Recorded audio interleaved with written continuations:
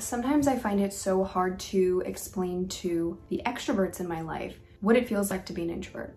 And there are so many things that I wish the extroverts in my life would know about me as an introvert. Sometimes when you're in the moment, you can't always think of the right words. You don't necessarily know how to describe the way that you're feeling. So, so in today's video, I want to talk to you guys about the 10 things introverts want you to know. Now, before we get started, I just wanted to welcome those of you who are new to my channel. My name is Bridget. On this channel, you'll find me talk a lot about introvert things, a lot about social anxiety and general anxiety. So if any of that interests you, make sure you go check out some of my other videos. Don't forget to like this video if you found it helpful or useful. Comment below what you'd like to see more from me and subscribe if you're not already subscribed. So in no particular order, I'm going to start with number one. I would prefer to have one or two deep conversations with a person rather than spending that time having chit chat with 25 different people. When I'm at a social gathering, I will almost always do this. I'll flock to one, maybe two people and spend 30 minutes to an hour, depending, having a real conversation with them about something that maybe we're both mutually interested in. Rather than spending that time frolicking around the social event and having that small talk with you know, a bunch of the people that are at the event. That to me sounds not only boring and draining and all the things that I hate, but I, I, if I'm gonna have a conversation with somebody, I wanna talk about things that I'm interested in. Why would I wanna talk about something mindless? I mean, some people prefer that. I'm just not that person. Number two, not wanting to hang out with you is not personal. It's not an attack on you. I just need more time to rest and recover. And it's not because I'm lazy after being at a social gathering, I might not hang out with people for days. That's normal for me. But it's very hard to explain to people in my life, especially the extroverts, because I'm, I'm seemingly always surrounded by them, that sorry, I can't go to things three days in a row, or sometimes even two days in a row, especially if that one was exhausting and it was all day. It's nothing on you, it's about me. Number three is my favorite. I really, really resonate with this. We are not social butterflies. We take a long time to open up. But when we do open up, we may become that butterfly. We may not. Depends if we have a connection or not. I am definitely that person that you might meet me one or two times, maybe even three times, depending on the situation, especially if it's with a lot of people. I might not talk at all. I might talk here and there.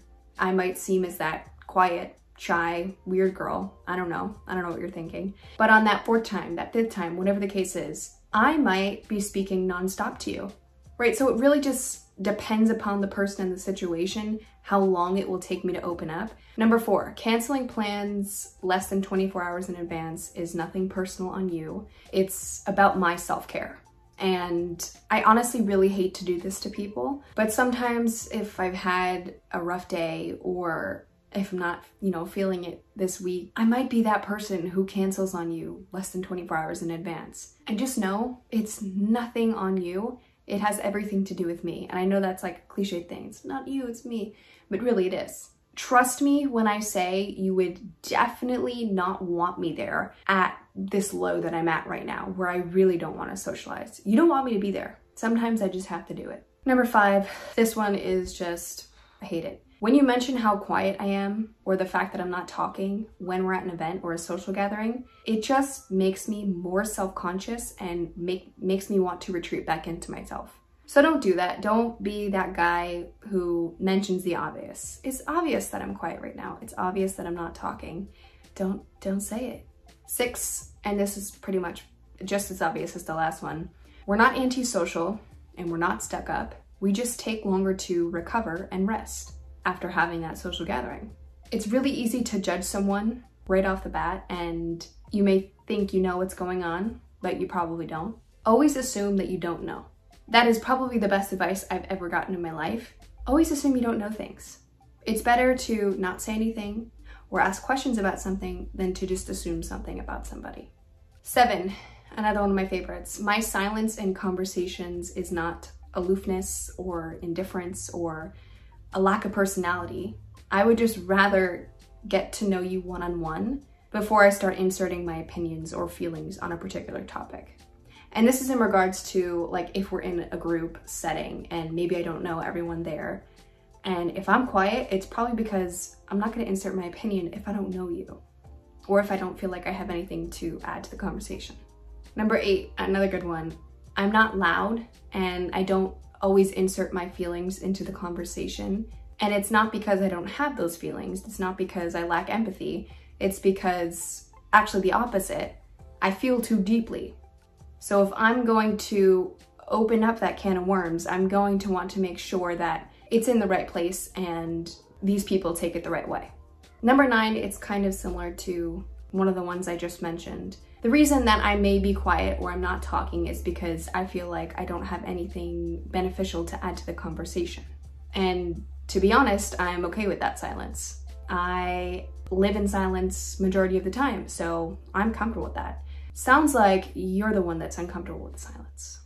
Number 10 is by far my favorite, and I really wish everyone knew this about introverts. We may act extroverted. We might be extroverted a good portion of the time, but that's a survival skill that we have adopted because of living in this extroverted world. But along with that, it still exhausts us and drains us exponentially to act in an extroverted way. So just keep that in mind if you are an extrovert watching this video. And there are so many more things that I could mention in this video, but I don't want to make it like an hour long video. I want to keep it short and sweet and straight to the point. But thank you guys so much for watching today's video. I hope it was useful and helpful as always, and I will see you next time.